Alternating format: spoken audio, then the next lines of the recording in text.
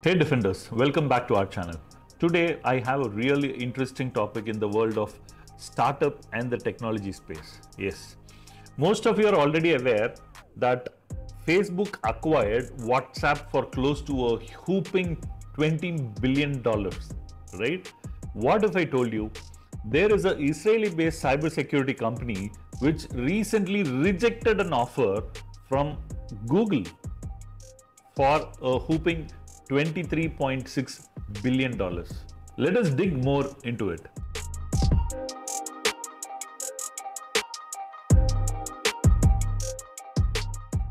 Israeli cybersecurity firm Wiz has made headlines by rejecting a staggering $23 billion acquisition from offer from Google's parent company Alphabet.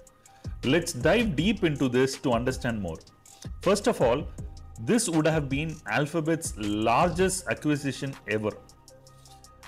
In an internal memo, Wiz CEO Assaf Rappaport expressed that while they were flattered by the offer, the company believes it still has greater heights that it can achieve by its own.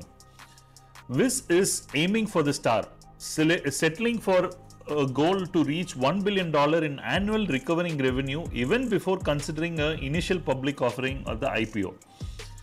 Currently, they are sitting at around $500 million in annual recurring revenue, which is already pretty impressive.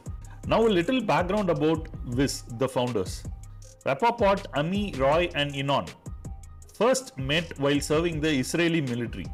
Their experience in cybersecurity has propelled them to create one of the largest and the fastest growing software companies in the history. Interestingly, this isn't the first attempt. They previously founded a company called Adallom, which was acquired by Microsoft for close to around $320 million.